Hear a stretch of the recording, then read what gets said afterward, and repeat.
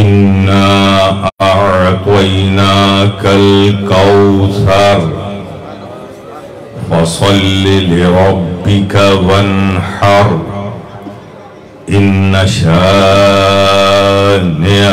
हुवल अबतर सदक़ल्लाहु मौलाना अज़ीम व सदक़ रसूलुहु नबील करीम व नहनु अला ज़ालिका लमिन शाहिदीन व शाकिरीन वल्हम्दुलिल्लाहि रब्बिल आलमीन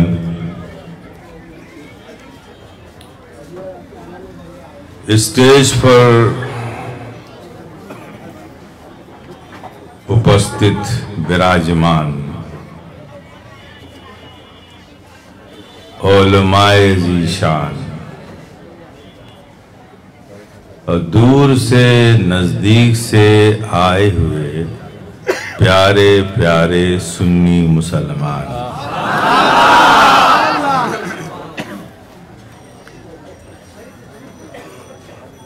कुछ कहने और सुनने से पहले आइए हम सब मिलकर अपने कल्ब को, इश्क व मोहब्बत से सरशार करके मदीने की पुरबहार गलियों का तस्वुर करके गुंबद खजरा के हसीन तस्वुरात में खोकर ताज तारे मदीना, राहत कल्ब सीना।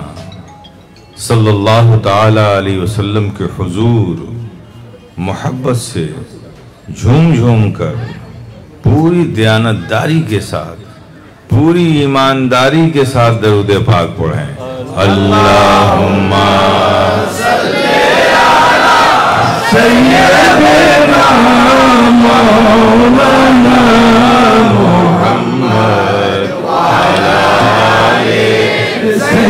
सय्यदना मौलाना मुहम्मद अल्लाहुम्मा सल्ली अला सय्यदना मौलाना मुहम्मद वअला आलि सय्यदना मौलाना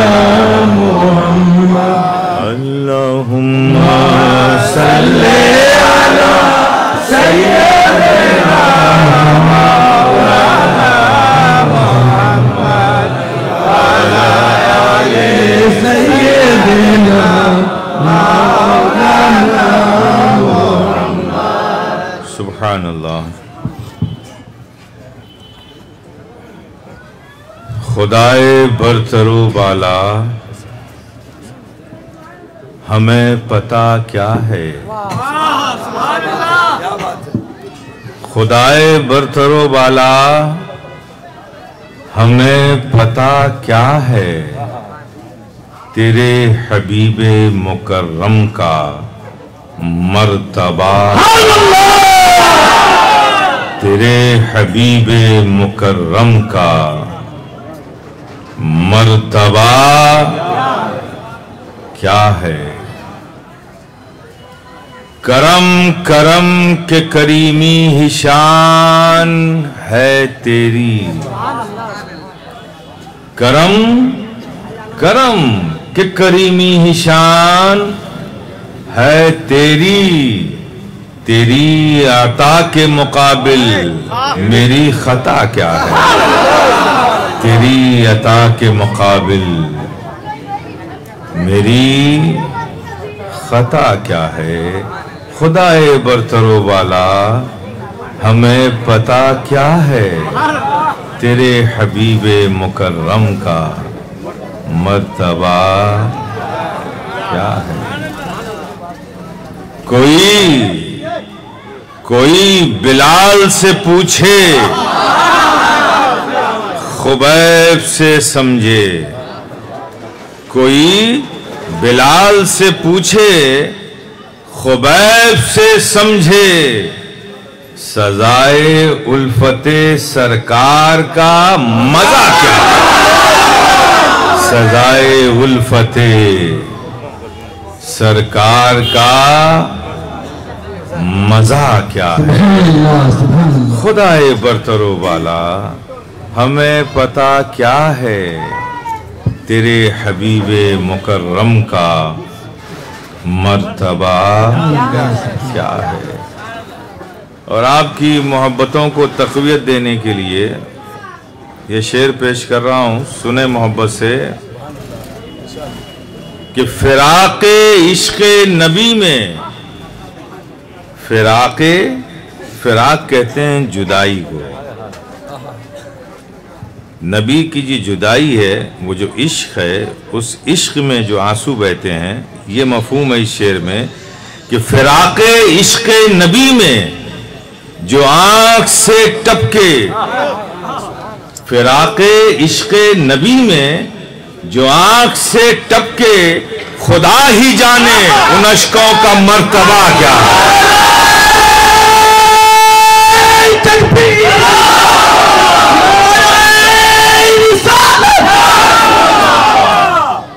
मर्तबा क्या है? खुदाए बरतरो वाला, हमें पता क्या है? तेरे हबीब मुकर्रम का मर्तबा क्या है? अब हासिल कलाम। ये शेर सुने कि की मोहम्मद से वफा।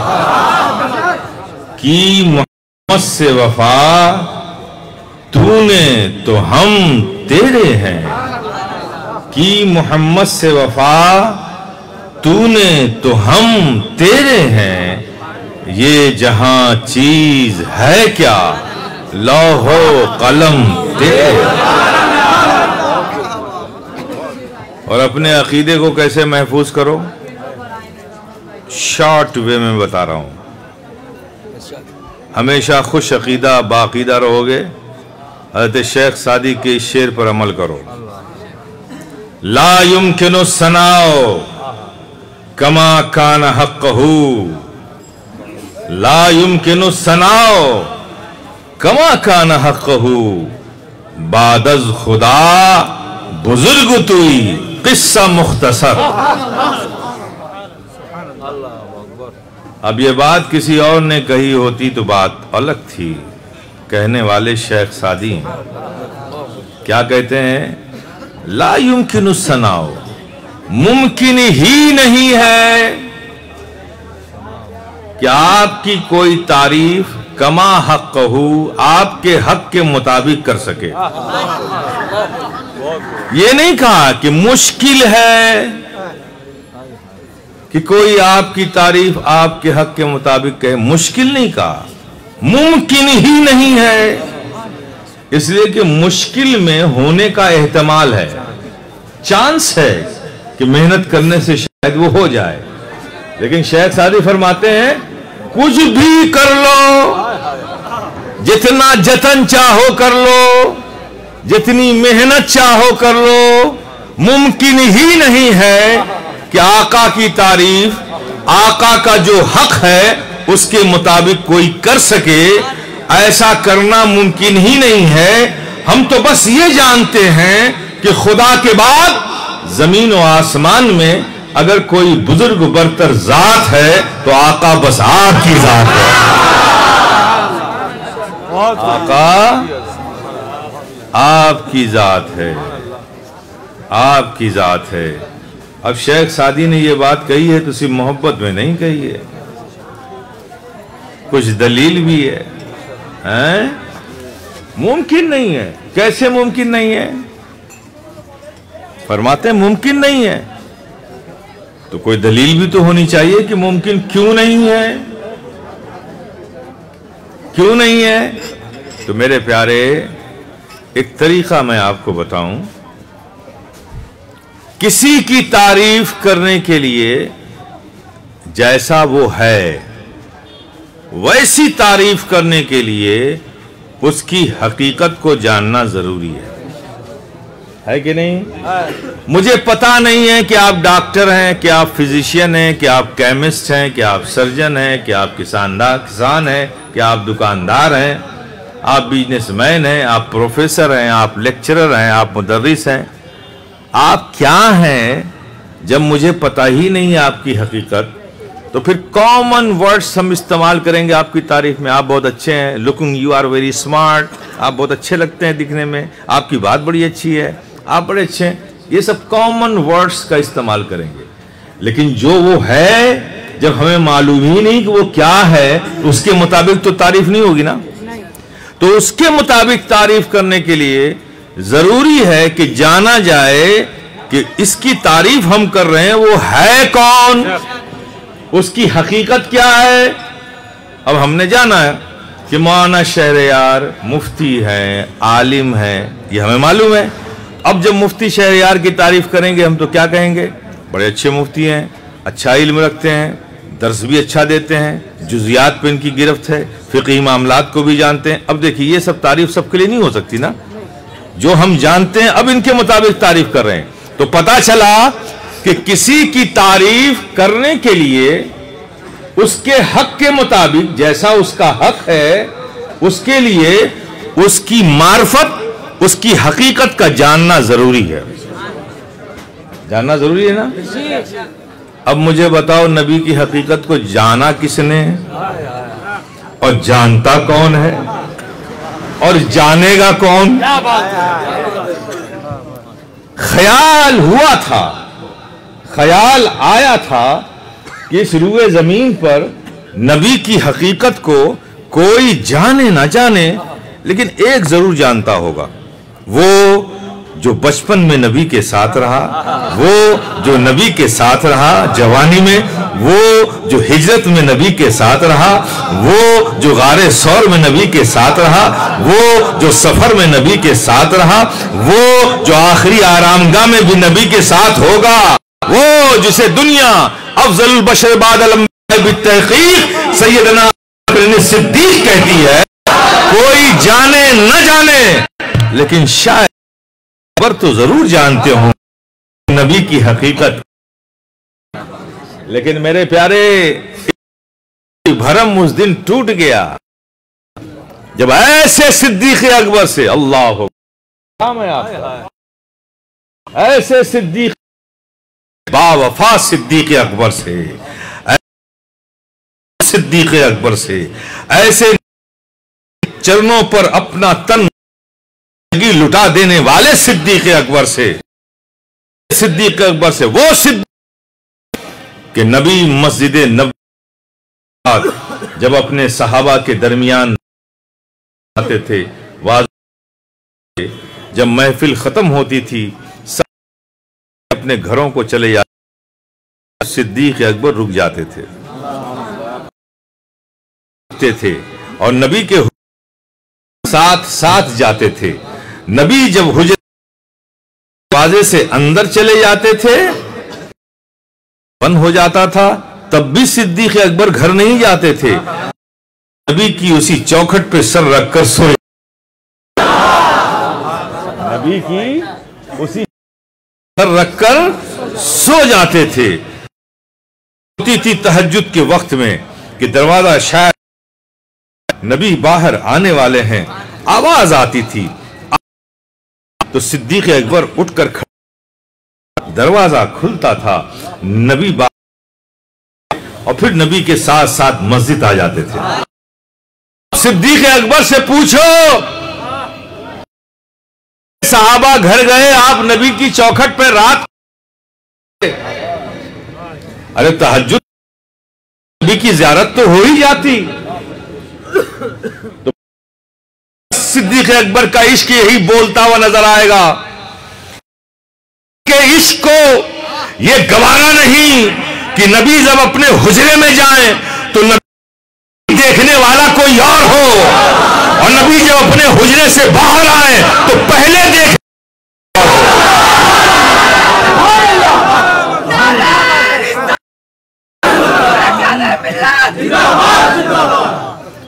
ये अबू बकर के गवारा नहीं, कि नबी हुजरे में जाए तो नबी को आखिरी देखने वाला अबू बकर के अलावा कोई और हो। और नबी जब हुजरे से बाहर आए तो नबी को पहला देखने अलावा कोई और हो। ऐसे आशिक सिद्दीक रज़ी अल्लाह हो उनसे नबी ख्याल था कि ये शायद हकीकत मार की। लेकिन जब ऐसे सिद्दीक नबी ने यह कहा, या बा बकरिन हकीकतन गैर रब्बी, ए अबू बकर मेरी हक, मेरे रब के सिवा किसी ने नहीं जाना। ए अबू बकर ज़्यादा ज़रूर रहे हो। बचपन जवानी में रहे हो, सफ़र में रहे हो आखिरी आराम गाह में भी साथ रहोगे। लेकिन ये ना समझ लेना कि तुमने मेरी हकीकत भी समझ ऐसे सिद्दीक अकबर से नबी फरमा रहे हैं। रब के सिवा किसी ने नहीं जाना। रब के सिवा किसी ने नहीं जाना। अब रब के सिवा की जरा एक लिस्ट बना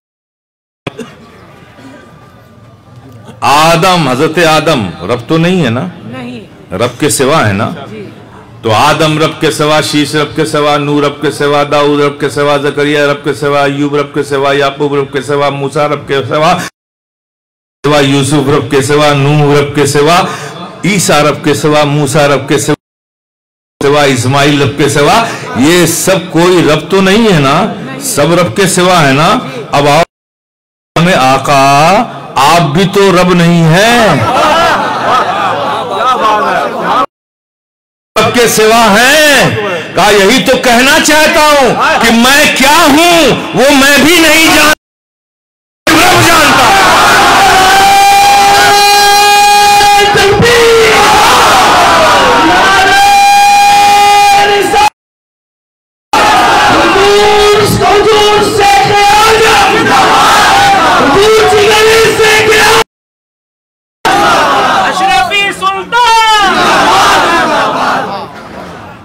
मैं क्या हूँ? वो मैं भी वो तो सिर्फ़ रब जानता। तो जिसकी हकीकत को सिर्फ़ रब जानता हो, उसकी तारीफ़ को उसके हक के मुताबिक करना मुमकिन कैसे हो सकता है? ला युमकिन सनाओ कमा काना हक हो बादज खुदा बुज़ुर्ग तुई, किस्सा मुख्तसर। ये अकीदा मजबूती से पकड़े रहोगे कभी गुमराह। समझ गए ना? इतना और कितना किंतु परंतु बट लेकिन वाई वाट वाट नॉनसेंस जिसकी हकीकत का पता ही नहीं है वहाँ किंतु परंतु क्या लगाते हो?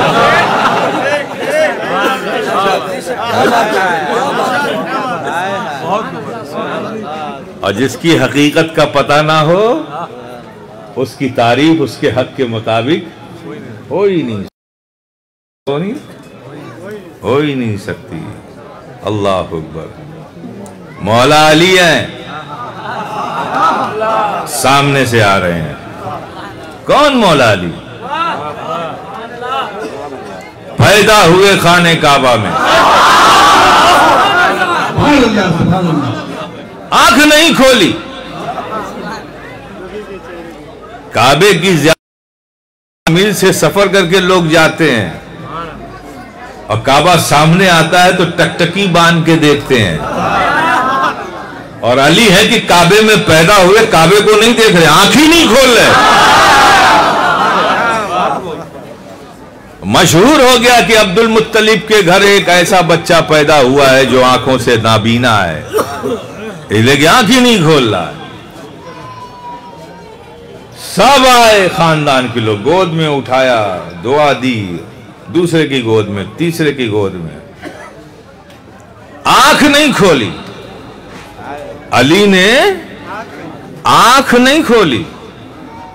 सबको यकीन हो गया कि आँखों से ये माजूर है ये बच्चा। सबसे अखीर में मुस्तफ़ा जान रहमत तशीफ लाते हैं। सबने तो गोदों में ले लिया। लाओ भाई, मैं भी अपने भाई को अपनी गोदों में ले लू। अभी ये भी पैदा हुए नौ मौलूद हैं। लेकिन कुर्बान जाओ। मौला अली की विलायत पे कुर्बान जाओ।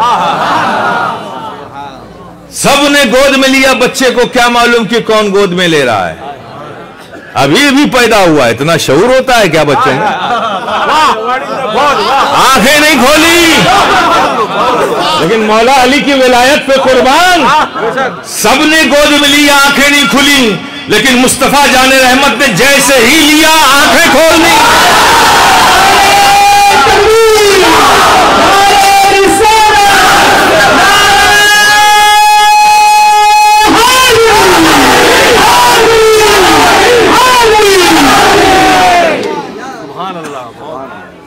और मौला अली ने ऐलान कर दिया, काबा तो फिर देखेंगे, पहले जाने काबा को तो देख ले।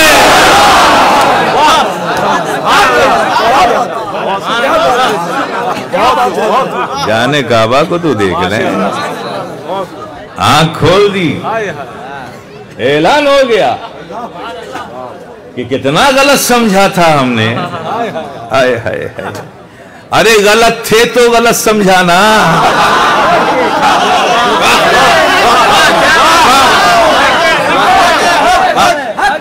जब हक की गोद में अली आया तो हक को देखने के लिए आँखें खोल दी। ऐसे मौला अली। ऐसे मौला अली। जिनकी परवरिश ही आगोश नबी में हुई। दुनिया में आने के बाद जिसने सबसे पहले नबी के रूए जेबा को देखा। और सबसे पहले अली की मुँह में लवाबे दहन अगर किसी ने डाला है तो सरवर कायनात का गया। ऐसे अली, मौला अली सामने से आ रहे हैं। हाय हाय हाय। नबी भी उधर से आ रहे हैं। अब किस मूड में थे नबी वो तो अल्लाह ही जाने। आप समझे उधर से नबी आ रहे हैं इधर से अली आ रहे हैं। जब करीब पहुँचे तो अली दस्त बस्ता हाथ बाँध के बारगाह नबूवत में सर झुकाकर खड़े हो गए। नबी ने ये अंदाज देखा अली का मुस्कुरा पड़े। ये अदब देखा ये मोहब्बत देखी मुस्कुरा पड़े। फिर अलग हट के बात कर दी नबी ने। ए अली तुमने मोहम्मद रसूलुल्लाह को कभी देखा है?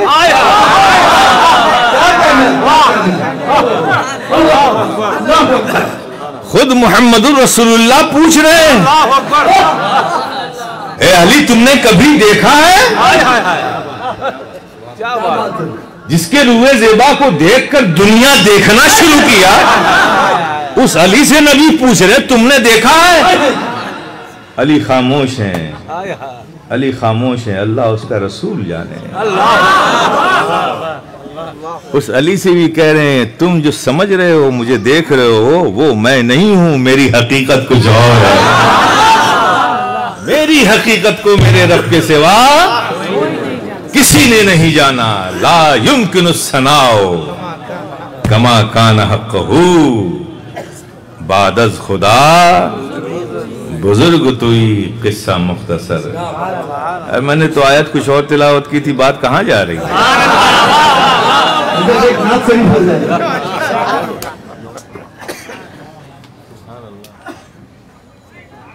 हम ऐसे नबी के उम्मती हैं। जिसकी हकीकत की मार्फत सिर्फ़ रब को है। और लॉजिकल भी बात समझ में आती है। कोई था ही नहीं।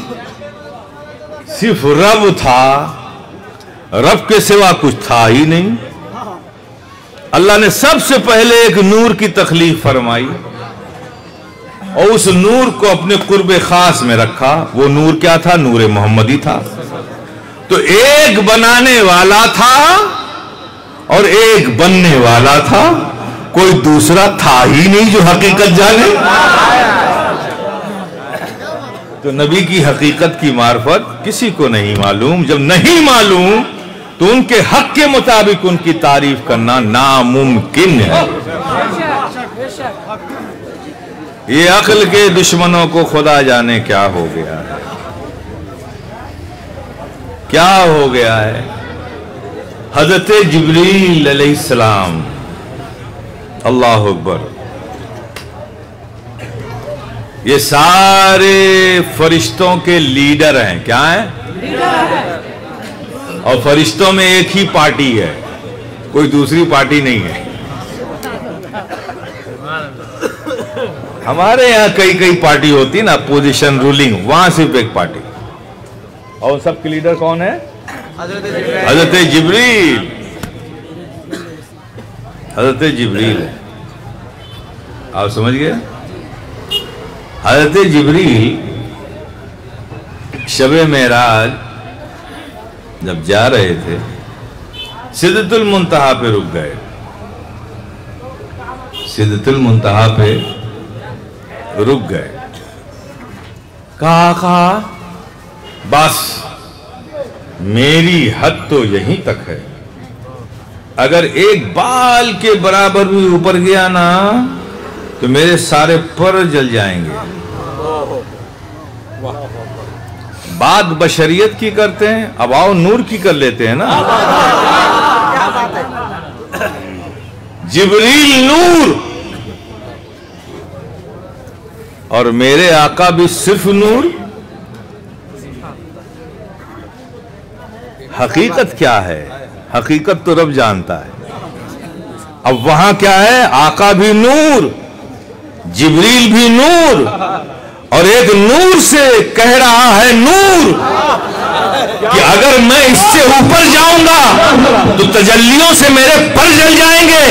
अरे कैसा नूर है जो ऊपर जाएगा तो उसके उरूज बुलंद हो जाएँगे, और ये कैसा नूर है कि इसके पर जल जाएँगे।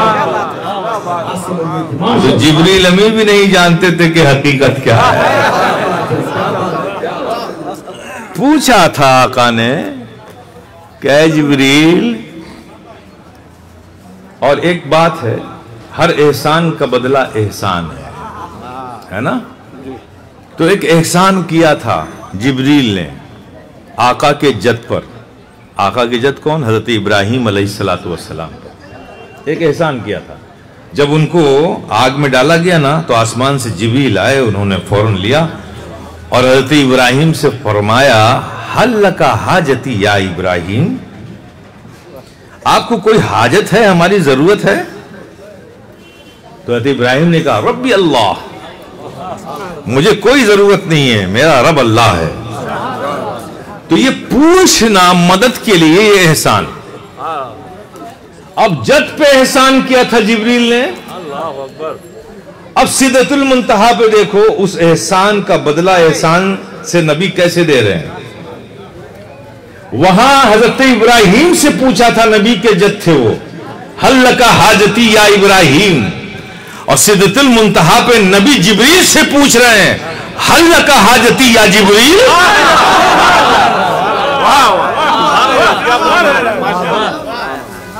तुमने मेरे जद पर यह पूछकर एहसान किया था। आज मैं तुमसे पूछता हूँ कि तुम्हारी कोई हाजत है जिबरील तो बताओ।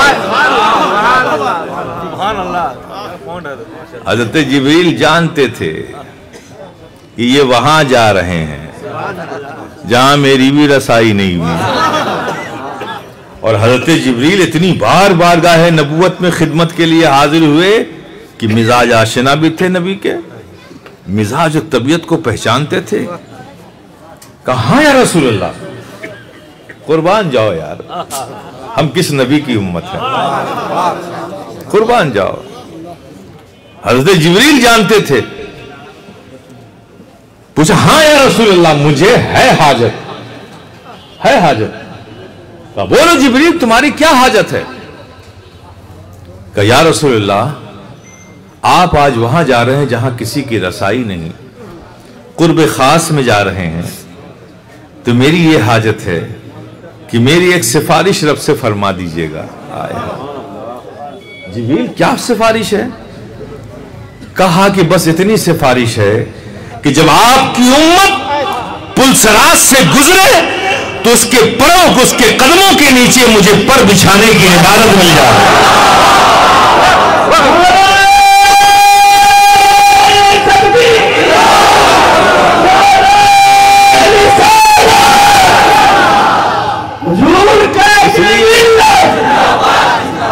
इसलिए कि जिब्रील अमी जानते थे।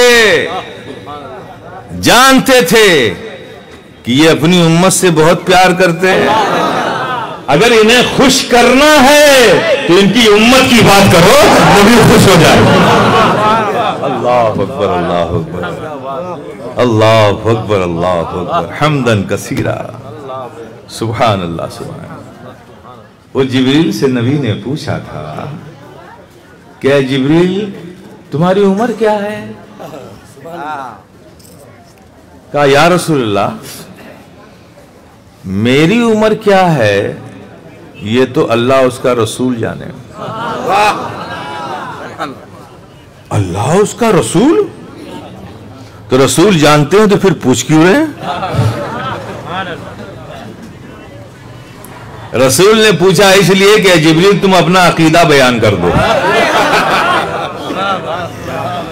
क्या बात है क्या बात है क्या बात है क्या बात है जिब्रील का अकीदा ये है कि वो खुद अपनी उम्र नहीं जानते लेकिन ये ज़रूर जानते हैं कि अल्लाह उसका रसूल ज़रूर जानता है।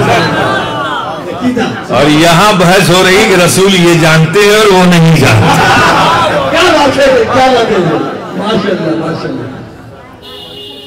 फरमाया कि या रसुल्ला वो तो मैं नहीं जानता लेकिन हाँ बस मैं इतना जानता हूँ कि ऊपर आसमान उफक पर। मैंने एक नूर को चमकते हुए देखा है। अपनी ताबानियाँ बिखेरते हुए देखा है। अपनी रोशनी बिखेरते हुए देखा है। और वो नूर सत्तर हज़ार साल के बाद एक बार चमकता है।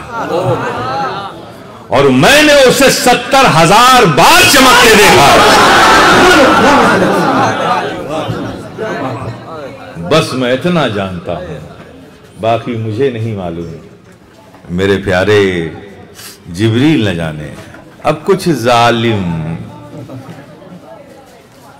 उन हज़रत जिब्रील इस्लाम को यकीनन सारे फरिश्तों के इमाम है वो है ना? बड़ा मकाम है उनका। सुबहान अल्लाह सुबहान लेकिन उसके बावजूद भी इन जालिमों ने अपनी जानों पे कितना जुल्म किया कि वही लेकर आने से, वही लेकर जिबरील आते थे ना, इस लाने की वजह से जिबरील सलाम को नबी का उस्ताद बता दिया। अरे जालिमो, पोस्टमैन लेटर लेकर आता है ना वो लिखने वाला होता है, ना वो पढ़ने वाला होता है, उसका काम सिर्फ़ लाने का होता है।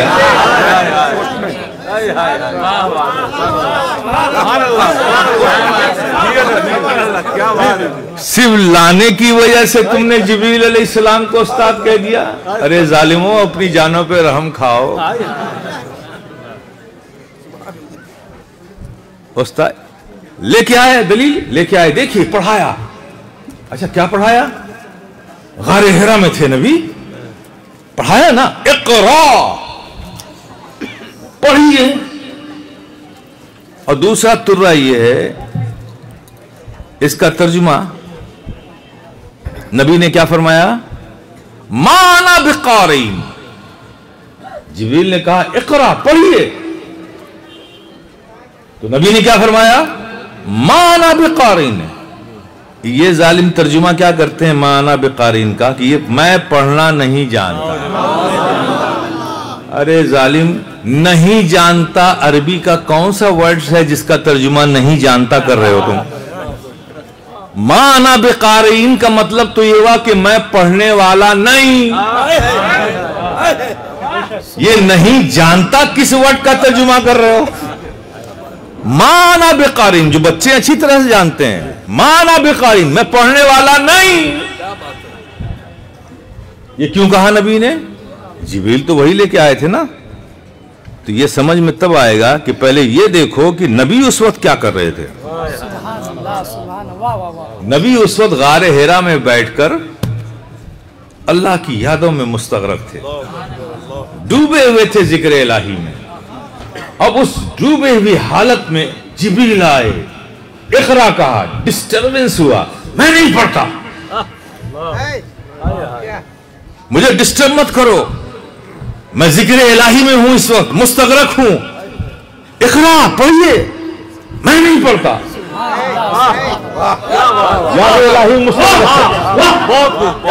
मैं नहीं पढ़ता। अब जिबरील अमी परेशान। कि नबी ने वही भेजी है, ये कहते मैं नहीं पढ़ता।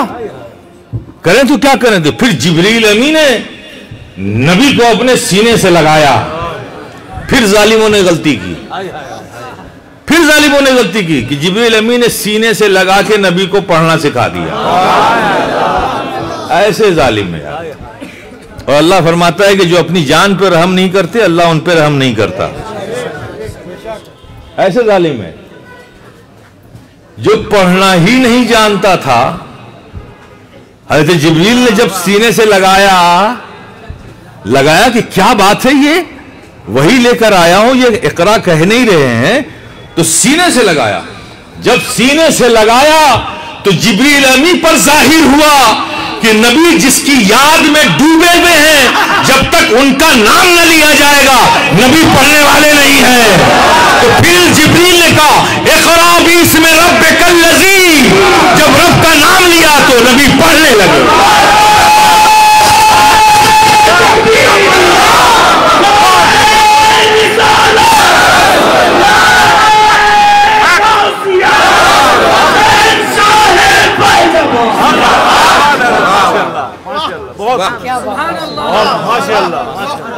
जो पढ़ना ही नहीं जानता था पढ़ने कैसे लगा?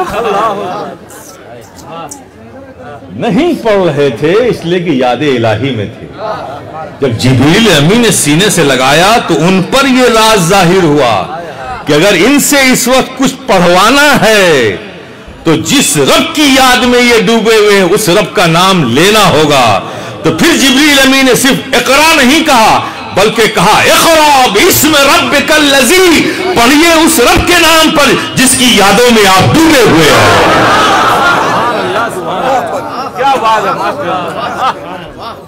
तो नबी पढ़ने लगे? नबी पढ़ने लगे? तो ऐसी जात की तारीफ़, जिसकी हकीकत की मार्फत किसी को है ही नहीं है तो उसके हक के मुताबिक हम तारीफ़ क्या करें? जिबरील को नहीं मालूम, सिद्दीक अकबर को नहीं मालूम, मौला अली को नहीं मालूम मालूम ही नहीं। अब आप देखिए। अल्लाह तबारक वाली इर्शाद फरमाता आपसे इन अल्लाह नबी। बात बढ़ती जा रही है दूसरी तरफ़। देखिए अब ऐसा छिड़ गया है कि वापस आने को जी नहीं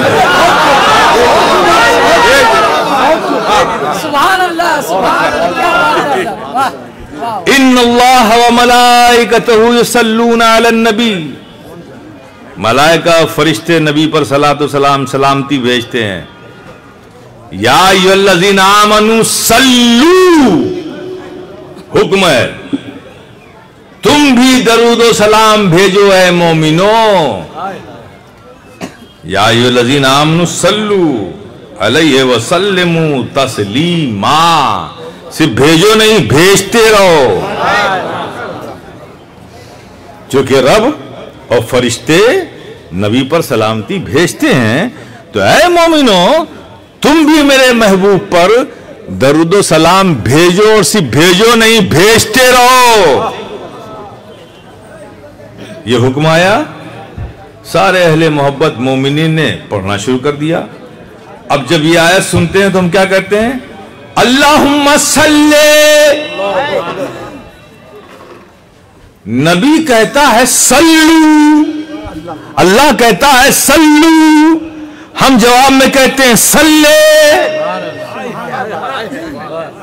कभी और किया? अल्लाह फरमा रहा है कि मेरे महबूब पर सल्लू। या लजीन आमनु, सल्लू। है ईमान वालो, दरूद भेजो, पढ़ो दरूद, पढ़ते रहो। और जवाब हम क्या कहते हैं? अल्लाह सल्ले। ए अल्लाह, तू भेज दे। आप देखो ना ये तो वही बात हो गई। भाई, एक गिलास जरा पानी ले आना। हज़रत, आप खुद ही ले लीजिए।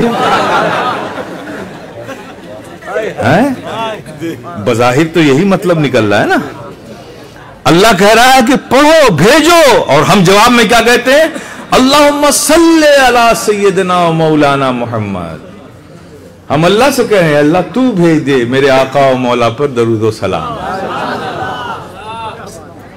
कभी समझा है इस हकीकत को भी? आ, हाँ, यही तो बात है ना करते हैं समझते नहीं है।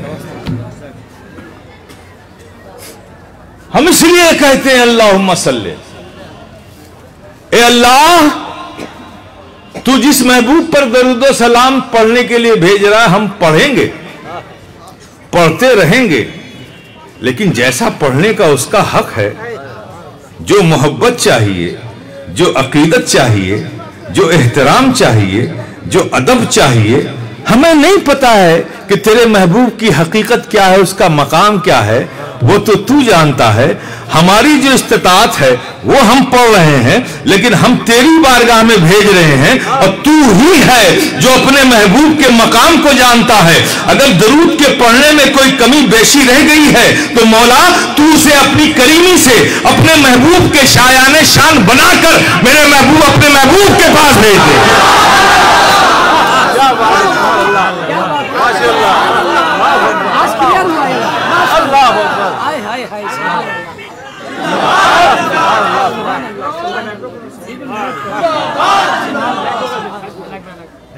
हमें नहीं पता कि तेरे महबूब की अजमत शान हकीकत क्या है।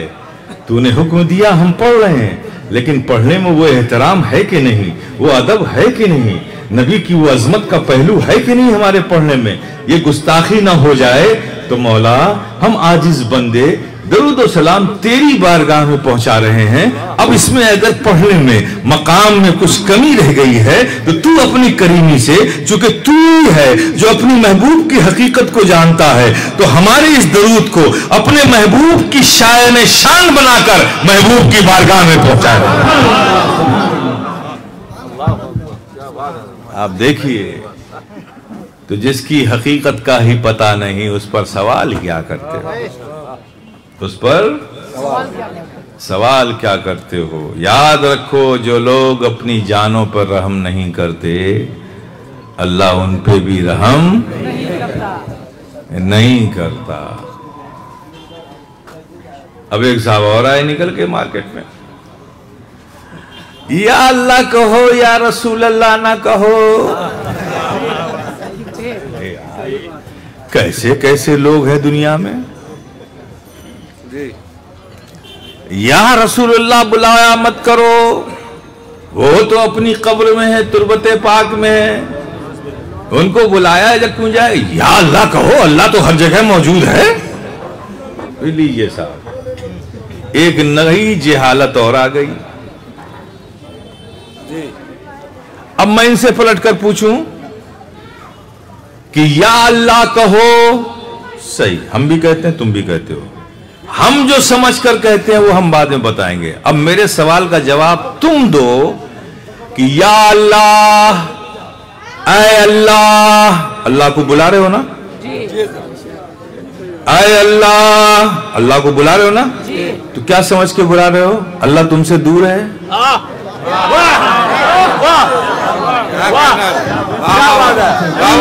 बुलाया किसी को कब जाता है। बुलाया किसी को कब जाता है? जब वो दूर हो या करीब है लेकिन तुम्हारी तरफ़ देख ना रहा हो? क्या बात है। तो उसकी तवज्जो को अपनी तरफ़ करने के लिए बुलाते हो? है ना? तो क्या समझ के बुला रहे हो अल्लाह को? वो तुमसे दूर है? या करीब है, तुम्हारी तरफ़ मुतवजे नहीं है? अरे वो रब तो हमारी शहरक से ज़्यादा करीब है। दूर माना तो ईमान गया। करीम माना मुतवजे ना माना तो ही मान गया। अब जालिमो, पहले ये बताओ कि तुम अल्लाह को क्या समझ के बुला रहे हो?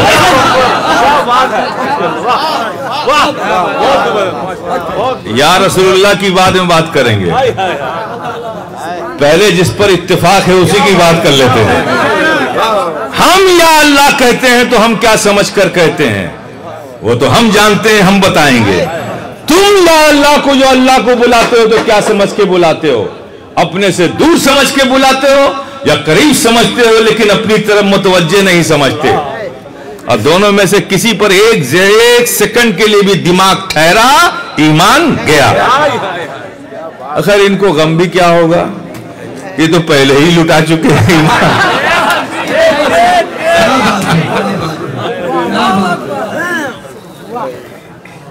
जिसकी जेब कट गई हो वो जेब थोड़ी बचाएगा। है ना? अब जेब में कुछ है ही नहीं है तो कटने का खबर भी नहीं है, है? अब जिनके जेब में माल है भाई उन्हीं को बचाना पड़ेगा। आपके जेब में माल है इसलिए बता रहा हूँ। कैसे बचाएँगे? हम जब अहले सुन्नत वल जमात, अहले हक, या अल्लाह कहते हैं तो उससे मुराद, जाते खुदा मुराद नहीं होती। उस जात को हम नहीं बुलाते। या अल्लाह से, अल्लाह की जात को नहीं बुलाते, वो तो हमारी शरक से ज़्यादा करीब है। जब हम या अल्लाह कहते हैं तो उससे मुराद क्या है? या रहमत अल्लाह! और अल्लाह की रहमत खास कभी किसी तरफ़ मतवजे होती है, कभी किसी की तरफ़ मतवजे होती है। जब हम कहते हैं, या अल्लाह तो इससे मुराद होता है, या रहमत अल्लाह अल्लाह की रहमत खास, हमारी तरफ़ मतवजे हो जा। अब रब से पूछो कि मौला, या अल्लाह कहते हैं तो हम तेरी रहमत खास को तलब करते हैं। अब तू ही फैसला कर दे कि तेरी रहमत खास क्या है। तो कुरान कहता है, वमा का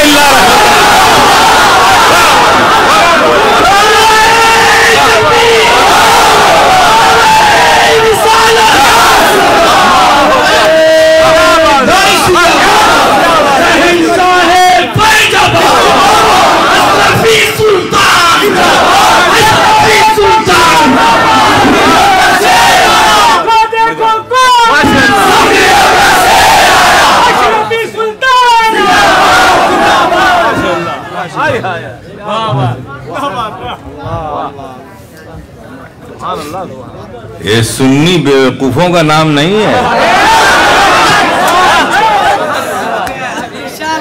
दीवाना बहुत सोच के दीवाना बना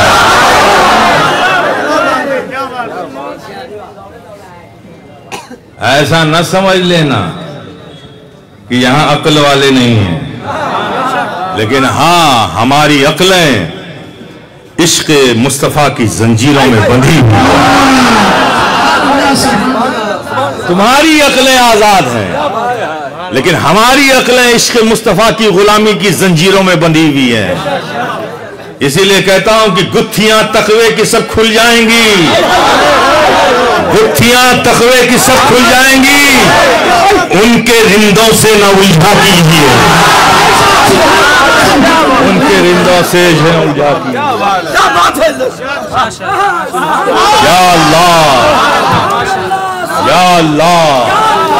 या रहमत अल्लाह या रहमत अल्लाह इसीलिए सुन्नी अब रहमत अल्लाह ही हासिल करना है ना? अल्लाह की रहमत ही हासिल करना है ना? तो कभी या अल्लाह कह के हासिल कर लेता है कभी या रसूल अल्लाह कह के हासिल कर कभी या अल्लाह कह के हासिल कर लेता है और कभी या रसूल अल्लाह कह के हासिल कर लेते गुत्थियाँ तकवे की सब खुल जाएँगी। उनके रिंदों से न उलझा कीजिए। बेहमद ही ताला बात बहुत आगे जा रही है भाई मैं बात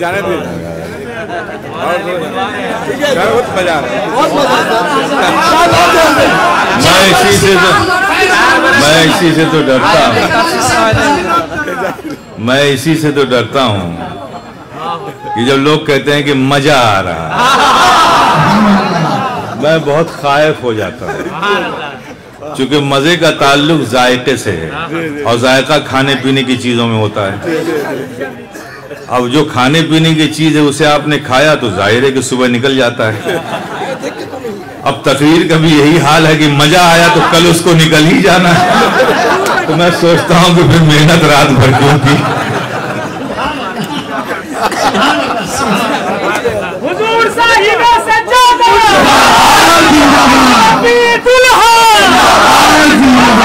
सुल्तान। मेरे प्यारे, ये तो अकीदे की बात हो गई। अभी देखिए, हज़रत शेख सादी ने अपने एक शेर ही उलझा रखा है मुझे? कोई हकीकत को नबी के क्या जानेगा? कोई क्या समझेगा? अल्लाह अकबर। शुक्र करो, अल्लाह का हज़ार हज़ार करोड़ हा करोड़ शुक्र अदा करो। तब भी ये अल्लाह के फजल का बदला हम नहीं चुका सकते। तो उसने हमें वो ईमान वाला बनाया जो नबी से मोहब्बत करने वाला ईमान है। नबी की ताजीम व अदब करने वाला ईमान है। नबी पर मताए ज़िंदगी लुटा देने वाला ईमान है। नबी की अजमतों के लिए जान कुर्बान कर देने वाला ईमान है। बहम नहीं ताला। और ये ईमान जो हमारे सीने में है ना, ये किसी नजदी तहरीक का नतीजा नहीं है।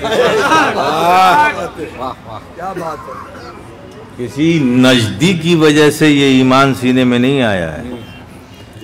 इसलिए कि इस पूरे बर्रे सगीर में, महाद्वीप में, आज बंटवारा हुआ ना बांग्लादेश पाकिस्तान अफ़गानिस्तान नेपाल श्रीलंका हिंदुस्तान ये अलग अलग नामों के मुल्क बन गए। पहले ये सब भारत थे। एक ही नाम था। ठीक है ना? और ये नज़दीक कब से पैदा हुए? तीन सौ सालों से। कितने साल से? तीन सौ साल। थ्री हंड्रेड ईयर्स से गो इनका बॉर्न होता है। इनका जो पहला खलीफा है मोहम्मद बिन अब्दुल वहाब नजदी। ठीक है? ठीक। लेकिन भारत में, मैं भारत ही कहूँगा, चूँकि संपूर्ण इंटायर एशिया पैसिफिक महाद्वीप की बात कर रहा हूँ, भारत का इस्लाम से रिश्ता बहुत पुराना है। भारत में इस्लाम उस वक्त आ चुका था जब मदीने में अमीर मोमिन हज़रत सैदना उस्मान गनी रज़ी अल्लाह तहो अमीर मोमिनीन थे। उस वक्त भारत में इस्लाम आ चुका था और ये नज़दीक तो 300 साल पुराने हैं। तो हमारा इस्लाम हमारा ईमान उस वक्त से है जब नजदियत के अंडे भी नहीं बने थे। और ये इस्लाम लाने वाले कौन है? ये बुजुर्गान दीन है। तो सुन्नी मुसलमानों के सीनों में जो ईमान है, वो औलिया कराम का फैजान है। वो फैजान बनकर हमारे सीनों में है। इसलिए हमारे दिलों में नबी की मोहब्बतें, नबी का इश्क, नबी का अदब, नबी का एहतराम, नबी की ताजीम, नबी की तकरीम, ये हमारी जानों से ज़्यादा हमें अज़ीज़ है। और ये बड़ी खुशनसीबी की बात है मेरे प्यारे। बड़ी हम सब के लिए खुशकिस्मती की बात है। एक बात और याद आ गई। मुल्कों की तकसीम हो गई सियासतदानों की बात है। लेकिन बुज़ुर्गों का मुल्क तकसीम नहीं हुआ। क्या बात है क्या बात है है? नहीं तकसीम हुआ। इसलिए अब गरीब नवाज़ हिंदुस्तान में है ठीक है? तो हिंदुस्तान की सीमाएँ कटी तो बांग्लादेश बना तो पाकिस्तान बना तो अफ़गानिस्तान बना तो नेपाल बना तो भूटान बना श्रीलंका बना। ये सीमाएँ बन गई अलग अलग मुल्क हुई। लेकिन गरीब नवाज़ तो पूरे बर सगीर के ताजदार बना के भेजे गए थे। तो क्या इन सीमाओं रेखाओं से गरीब नवाज़ की मोहब्बतें भी बटी क्या? नहीं बटी। जितने चाहने वाले हिंदुस्तान में गरीब नवाज़ के, उतने ही बांग्लादेश में भी है, उतने ही पाकिस्तान में है, उतने कोलंबो के अंदर है। हर सुन्नी मुसलमान के दिलों में गरीब नवाज़ बसते मोहब्बत रखते हैं। तो ये बुज़ुर्गों का फैजान बटता नहीं है। ये बांटने से बढ़ता चला जाता है, बट के कम नहीं होता। कहीं भी रहो उनकी मोहब्बतें तुम्हारे सीनों में है। वो मौजूद है। यही वजह है कि अकाबरीन दीन ये तीन सौ सालों से ये नस से आए हुए चूहे हमें परेशान कर रहे हैं। लेकिन हमारे उलमा काबरीन इनका जवाब दे रहे हैं। हम इनसे भी कहते हैं, या यह लजीन आमनु आमिनू। अगर ईमान वाले खुद को समझते हो तो ईमान वाले हो जाओ। और ईमान वाले होने के लिए बगैर इश्क मुस्तफ़ा, बगैर ताज़ीम मुस्तफ़ा, बगैर अदब मुस्तफ़ा, ये मुमकिन ही नहीं है कोई ईमान वाला रह सके। ये करना पड़ेगा। अब आप देखिए, अल्लाह ने कुरान में एक ही आयत है अकीमुसलात नमाज़ कायम करो, कमा हक हो जैसा उसका हक है। मौला, ये नमाज़ क्या है? ये लफ्ज सलात के माना क्या है? बयान कहीं नहीं है। कुरान में आगे कहीं इसकी वजाहत नहीं कि सलात ये है। अब ज़ाहिर है कि जब सलाद का वर्ड उठाएँगे तो डिक्शनरी देखेंगे। सलाद के माना जब डिक्शनरी में देखा अरबी की तो उसमें मालूम चला कि सलाद के माना तलब मगफरत है, दुआ है। अब ये जो नमाज़ की शक्ल में जो हम इबादत करते हैं, जरा मुझे बताओ इसकी तफसील कहाँ है कुरान में? ये कयाम, ये रुकू, ये सुजूद, ये कूद कहाँ है? अल्लाह ने तो सिर्फ़ फरमाया कि अकीम सलाद, नमाज़ कायम करो। मौला तफसील भी कह देता ना कि नमाज़ नाम है कयाम का, नमाज़ नाम है रुकू का, नमाज़ नाम है सुजूद का, नमाज़ नाम है कऊद का, फिर सलाम करो, फिर नमाज़ से बाद। तरीका भी तो होना चाहिए था ना। तरीका नहीं बताया। महबूब से कहा, बस जाओ अपनी उम्मत के लिए, मेरा ये तोहफा लेकर जाओ। सलाद, नमाज़ का। और इख्तियार है तुम्हें। अब सलाद को जिस अंदाज में, जिस अदा से तुम अदा करोगे, वही मेरी मर्ज़ी बन जाएगा। वही मेरी रजा बन जाएगी, वही मेरी इबादत बन जाएगी। अब नबी ने सोचा कि दुआ, तलब मफरत, ये इबादत की कैसे जाए? तो जाते वक्त नबी ने देखा था ये कुछ फरिश्ते क्याम की हालत में जब से पैदा किए गए। ये क्याम क्या, कहा हाँ ये उस वक्त से हैं जब से पैदा किए गए, क्याम की हालत में खड़े और ऊपर गए तो देखा कुछ फरिश्तों को रुकू में है। कहा, ये क्या है? कहा, जब से ये पैदा हुआ, ये रुकू में है। और ऊपर गए तो कहा, ये क्या है? कहा, जब से पैदा हुआ, ये सजदे में है, सर ही नहीं उठाया। कहा ये क्या है? कहा जब से ये पैदा हुआ ये कादा में बैठा हुआ है। उठाया नहीं। अब ये मंजर देखा था जाते हो जब अल्लाह ने कहा कि अपनी उम्मत के लिए तोहफा ले जाओ सलाह सलाह सलात ले जाओ। ठीक है ना? जी। ले जाओ। तो मुस्तफ़ा जान रहमत ने सोचा अब देखिए क्या मुहिब व महबूब की बातें हैं है? ये नहीं कहा कि महबूब ऐसे करो ऐसे करो ऐसे करो तो मेरी इबादत होगी।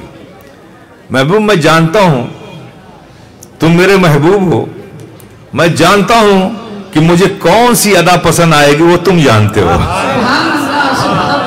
तो नबी ने फरिश्तों की उन अदा को सेलेक्ट किया।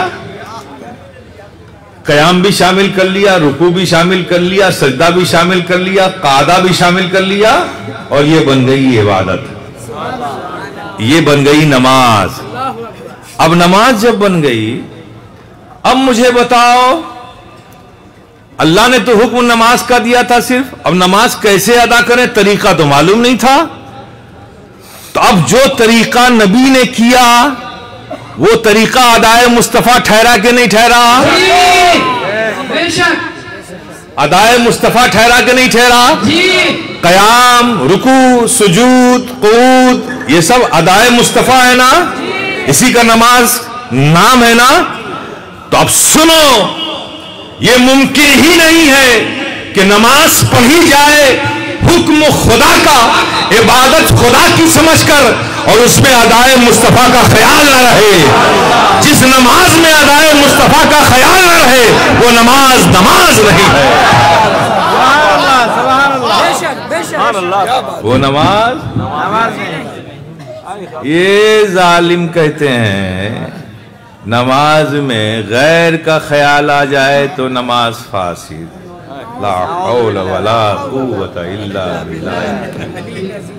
काबिल रहम है ये लोग। दरिया के किनारे पहुंचकर भी प्यासे हैं। प्यासे ही मर जाएँगे। दस्तरखान पे खाना लगा हुआ है, लेकिन ये भूखे हैं, भूखे ही मर जाएँगे।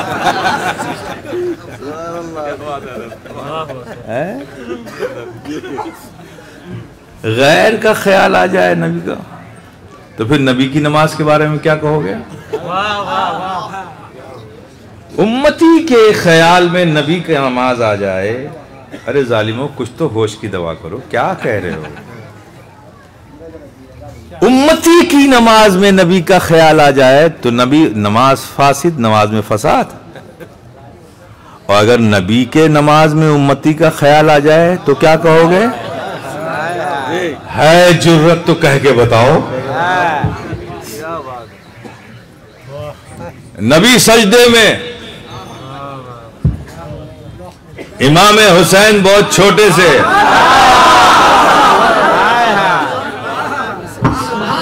चलते चलते नन्हे नन्हे मासूम कदमों से आगे बढ़े।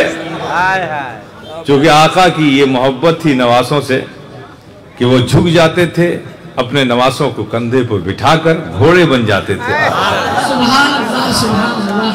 और फरमाते थे कि मेरे नवासो ये मेरी जुल्फ अंबर जो है इसे मजबूती से पकड़ लो।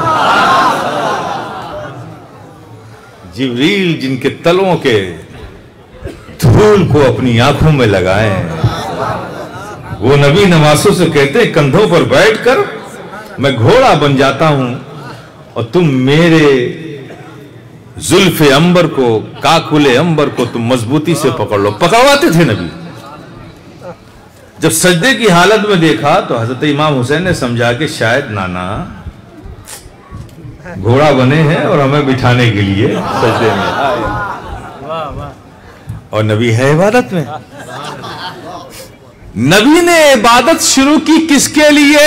अल्लाह के लिए। अब हसनैन करीमैन जब शानों पर सवार हो गए तो नबी सर नहीं उठा रहे। सर नहीं उठा रहे। सुबहान रब्बी अलाला सुबहान रब्बी अलाला अभी हुसैन उतरे नहीं सुबहान रब्बी अलाला सुबह अभी उतरे नहीं सुबहान रब्बी अला अभी उतरे नहीं सुबहान रब्बी अला अभी उतरे नहीं सुबहान रब्बी अलाला नबी सजदे को तूल दे रहे हैं, तवील दे रहे हैं। सर झुकाया था खुदा के लिए। और सर उठा नहीं रहे हैं हुसैन के लिए।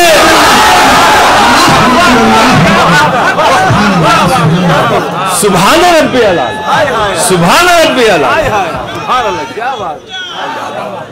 तस्बी खुदा की सुबहान रब्बी अला तूल दे रहे हैं तस्बी को। सुबहान रब्बी अल्लाह सुबहान रब्बी अल्लाह। अभी हुसैन उतरे नहीं सुबहान रब्बी अल्लाह। अभी उठाऊँगा सर तो हुसैन गिर जाएँगे। सुबहान रब्बी अल्लाह। अभी भी शाने पर सवार है सुबहान रब्बी अल्लाह। अरे जालिमो, मुझे बताओ, जब नबी की नमाज़ में उम्मती का ख्याल आने से नबी की नमाज़ में कोई खलल नहीं तो उम्मती के खया, नमाज़ में अगर नबी का ख्याल आ जाए। तो नूर लाला नूर हो जाए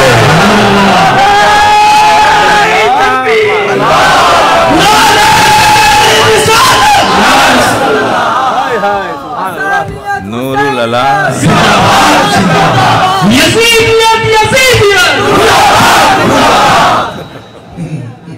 आप अब देखिए नबी का कोई भी काम याद रखिएगा।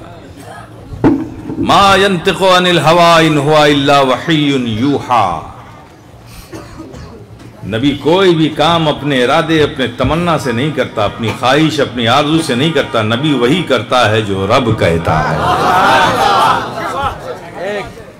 है ना? अब सवाल यह है कि इबादत खुदा की तस्वीर खुदा की सिर्फ़ हुसैन नवासे के लिए सर नहीं उठा रहे सिर्फ़ नवासे हुसैन के लिए नबी सर नहीं उठा रहे खुदा की इबादत? नहीं मेरे प्यारे, इसी राज को तो समझा नहीं। अल्लाह के प्यारे हबीब, आका मौला सल्लल्लाहु अलैहि वसल्लम जुमे का खुतबा दे रहे हैं। मस्जिद नबी पे मिंबर पे खड़े हैं। हुजरे मुबारक से रहते इमाम हुसैन। बाहर निकले। नबी ने देखा हज़रत इमाम हुसैन को हुजरे से बाहर निकल के आगे सफ में आते हुए, खुतबा रोक दिया। हुसैन करीब आए, गोद में उठा लिया। खुतबे का मजमून बदल गया। फरमाते हैं, या नास हाजा हुसैन पहले दाएँ तरफ़ अपने रुख के दाएँ तरफ़ के सहाबा को कहा। कौन नहीं जानता था कि ये हुसैन है? ये सारे सहाबा रोज तो देख रहे थे कि ये हुसैन है। लेकिन नबी क्या फरमान या नास, उनजुर, हाजा हुसैन। फिर नबी सामने की तरफ़ मुखातिब हुए। या नास, उनजुर, हाजा हुसैन। फिर नबी अपने बाएँ तरफ़ मुतवजे हुए। या नास, उनजुर, हाजा हुसैन।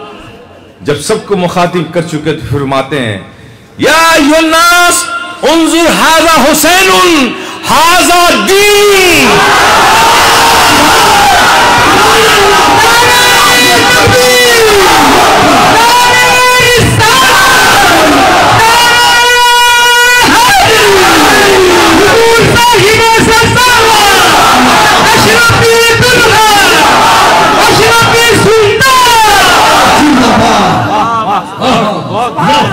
कह चुके नबी दीन है हुसैन। अब हुसैन नबी के शाने पर सिर्फ़ हुसैन नहीं थे। नबी के शाने पर दीन था। हम मुस्तफ़ा दीन गिराने नहीं आए हैं। दीन को बुलंद करने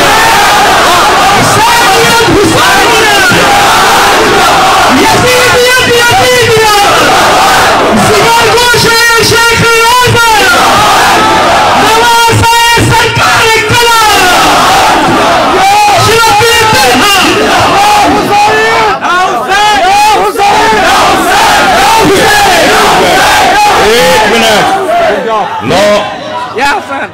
ये सुन्नियों का नारा नहीं है। सिर्फ़ या हुसैन, ये सुन्नियों का नारा नहीं है। जितनी भी आका की हदीसें उठाकर देख लोगे अल हसन वल हुसैन अल हसन वल हुसैन, जब नबी ने दोनों नवासों को अलग नहीं किया तो तुम क्यों अलग करते हो? तुम भी नारा लगाओ, या हसन या हुसैन।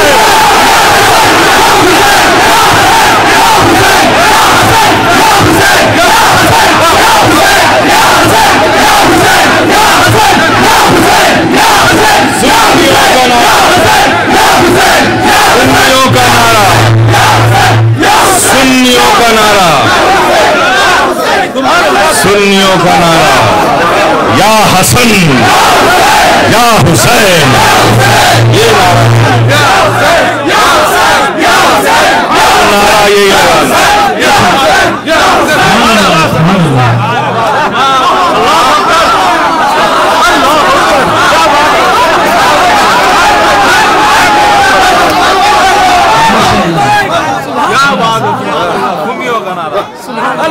ये सुन्नियों का नारा है। ये गफलत में ये शियों ने चबा के निवाला हमारे मुँह में डाल दिया था। हम उसी ट्रैक पे चले गए जब वापस आ जाओ।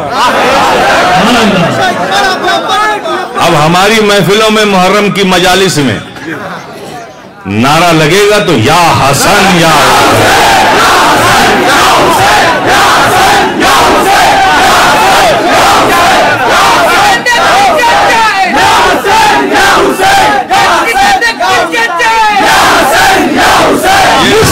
का नूर है फातिमा के दिल का चैन मुस्तफ़ा का नूर है या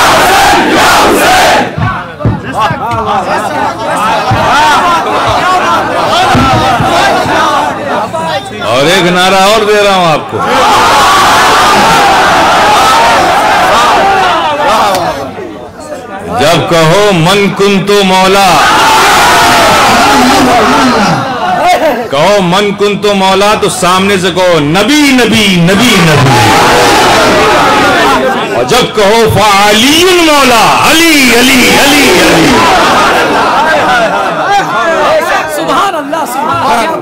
मन कुन तो मौला।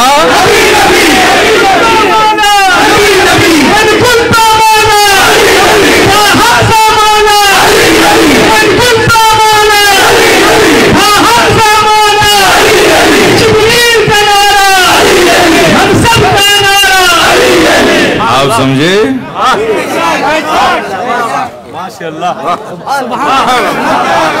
हमें किसी से हमें किसी से नारों का लोन लेने की ज़रूरत नहीं। हमारे पास खुद नारे हैं। और हमारे नारे हक की बुनियादों पर हैं। अहले सुन्नत वल जमात एतदाल का मसलक और मज़हब है। हमें जिसका जो हक समझाया गया है, हम उसको उसी हक के एतबार से मानते हैं और जानते हैं। आप समझ गए? इसलिए जब यहाँ आ गए तो इसलिए अब ये भी समझते जाओ। शरीयत के मामले में, दीन के मामले में अपनी अक्ल मत लगाया करो। चूँकि अक्ल लगाने वाले बड़े बड़े लोग जितने बड़े थे उतने नीचे चले गए। शरीयत के मामले में अक्लों का इस्तेमाल ना कहा करो। अहले बैत की मोहब्बत हर सुन्नी का हक है। मौला अली से मोहब्बत हर सुन्नी का हक है।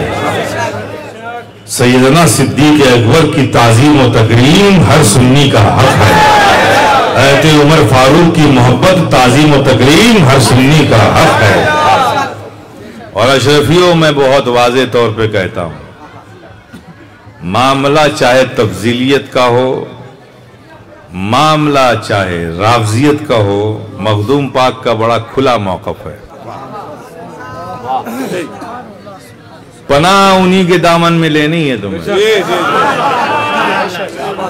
मरोगे कहीं कब्र में दफन किए जाओगे कहीं। जब हशर नशर का वक्त आएगा कब्रों से निकाले जाओगे तो कहीं और नहीं भटकोगे सबसे पहले किचोचे ही आओगे। और सारे मखदूम पाक की क्यादत में इकट्ठा होकर फिर उस अमीर की इख्तदा में हमारा सफ़र आखिरत की तरफ़ आप समझ गए? समझ गए आप? इसलिए याद रखना मखदूम पाक ने बड़े साफ़ लफ्जों में, रिसाले कबरिया में ये दर्ज फरमाया है। कि जो तरतीब है कि पहले खलीफ राशिद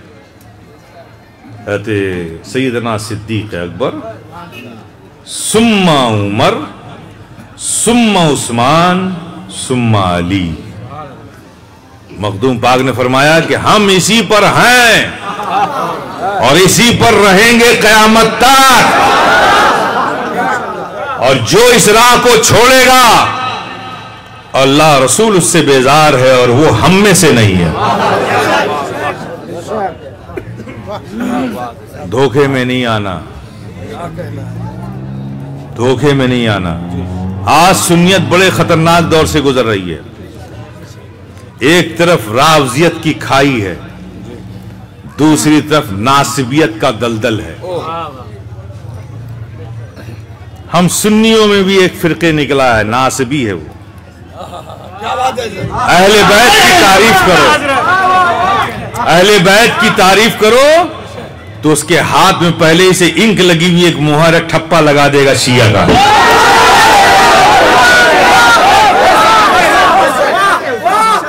ये नासवी है। ज़िक्र अली इबादत। अली का देखना इबादत। अली का ज़िक्र इबादत। तो इबादत करना शीयत कहाँ से हो गया? लेकिन कुछ लोगों को तकलीफ़, अहले सुन्नत वाल जमात को तकलीफ़ नहीं है। नो नो वो तो सैयदना सिद्दीक अकबर को अफजल बशर बादल अंबियाए भी तहरीक समझते हैं। नबी के बाद अगर इस्लाम में, दीन में किसी का मकाम है तो सैयदना सिद्दीक अकबर का है। ये सब मानते हैं।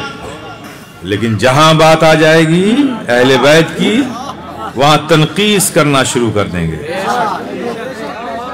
अरे जालिमों, किसने हक दिया है तुमको? जो 1400 साल पहले शख्सियतें गुजरी हैं, उनमें तकाबुल करने का हक किसको दिया है? अरे सारे साहबा हमारे लिए बाइस ताजीम तकरीम है। नबी ने फरमा दिया, साहब यो कन्नजूम इख्तदाई तुम एहतदाई तुम ये सारे साहबा तुम्हारे लिए सितारों की मानिंद है। जिनकी चाहो पैरवी करो, हिदायत पाओगे तो तुम कौन होते हो? साहबा के दरमियान तकाबुल पैदा करने वाले मुशाजरात साहबा को महफिलों में बना, बनाने वाले, महफिलों में बहस का मौजू बनाने वाले, याद रखें, न खुदा ही मिला, न वे साले सनम, न इधर के रहे, ना उधर के रहे। मुशाजरात सहाबा, अहले सुन्नत वल जमात के नज़दीक कभी भी बहस का मौजू नहीं रहा है। इसलिए कि हम जानते हैं कि कोई भी सहाबा, सहाबी अमल से सहाबी बना ही नहीं है। जब सहाबी अमल से सहाबी बनता ही नहीं है तो उसके अमल पे बहस क्यों कर रहे हो?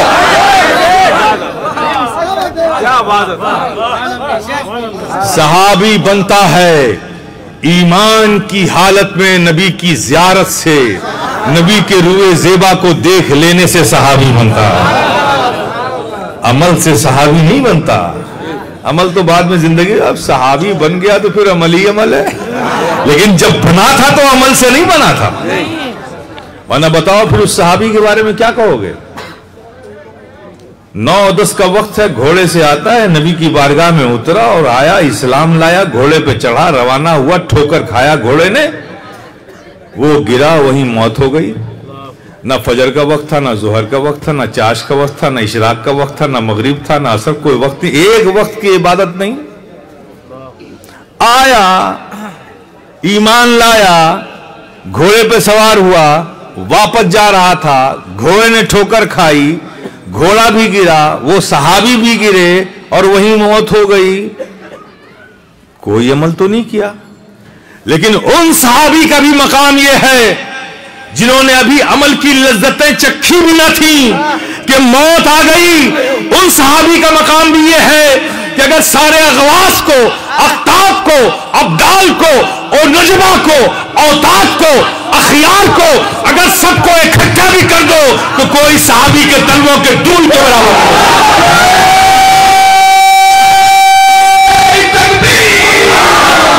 लाश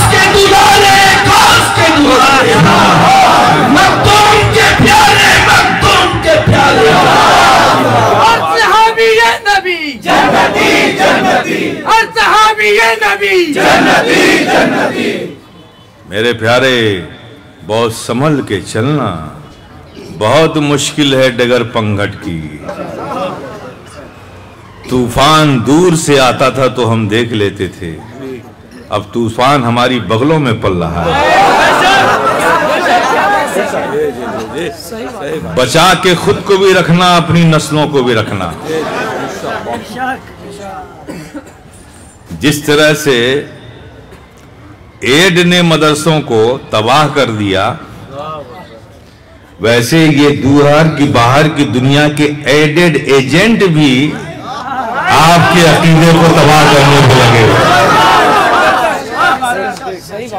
होशियार रहना मेरे प्यारे, मेरे बच्चों, मेरे अजीजों, मेरे दोस्तों, मेरे बुज़ुर्गों। गफलत में धोखा ना हो जाए। कि तुम्हारा ही बच्चा तुम्हारा ना रहे। उस बाप है जिसका बच्चा उसके लिए सवाब जारिया बने और सवाब जारिया बनने के लिए ज़रूरी है ईमान और अकीदा सलामत रहे। ईमान और अकीदा कीमती है मेरे प्यारे।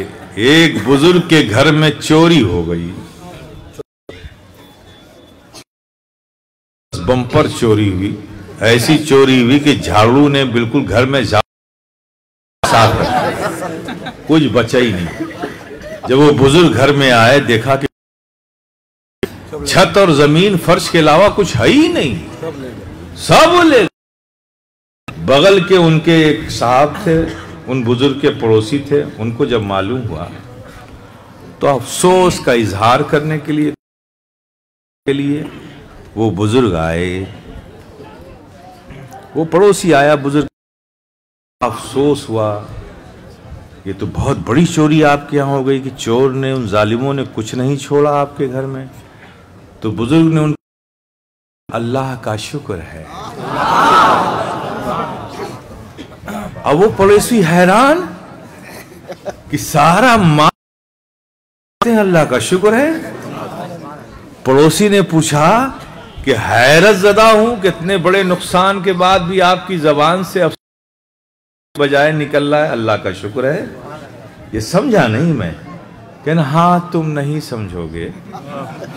जिस फल को तुमने लज्जत क्या जाए। कहा, चलिए आप समझा दिए कहा, यूँ समझ लो कि वो माल का चोर माल ले गया। अगर ईमान का चोर होता और ईमान लेके चला जाता तो सब ईमान बचा है ना तो अल्लाह का शुक्र है।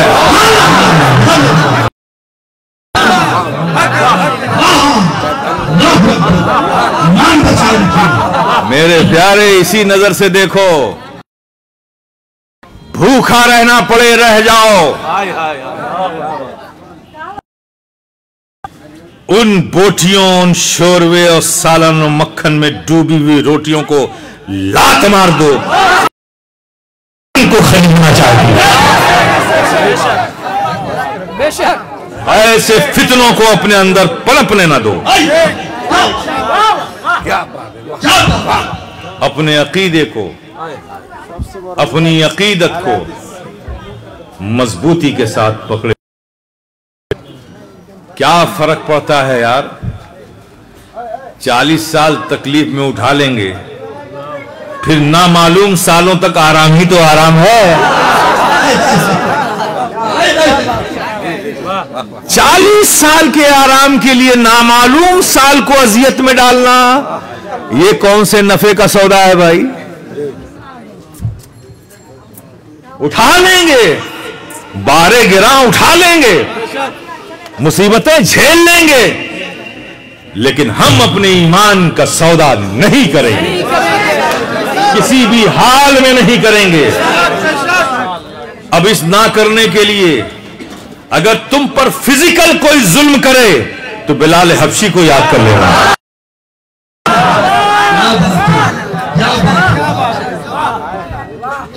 अगर तुम्हें भूख सताए, माली तुम्हारे पास कहत आ जाए, तंगदस्ती आ जाए और उस तंगदस्ती का फ़ायदा उठाकर तुम्हें लोग खरीदना चाहें।